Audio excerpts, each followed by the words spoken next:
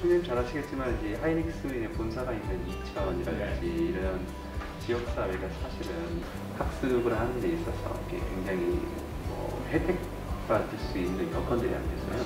그래서 저희들이 가지고 있는 전문 역량 가지고서 지역 사회에 저희도 그 분야에 좀 지원 사업을 좀 오랫동안 하고 있었습니다. 예. 이천에 있는 뭐 고등학교나 이런 곳에 저희가 RPA 같은 거를 이제 교육을 또 해주고 가서 동료도 해주면서 그런 활동을 좀 하려고 지금 하고 있어요. 아마 기업들은 사회에 대한 기여를 많이 신경 쓰시고 실질적으로 활동을 해주시는데 우리가 지금 인근 뭐 관심이 뭐 커지지 않겠습니까? 서로 상생하면서 윈윈할 수 있을 것 같습니다.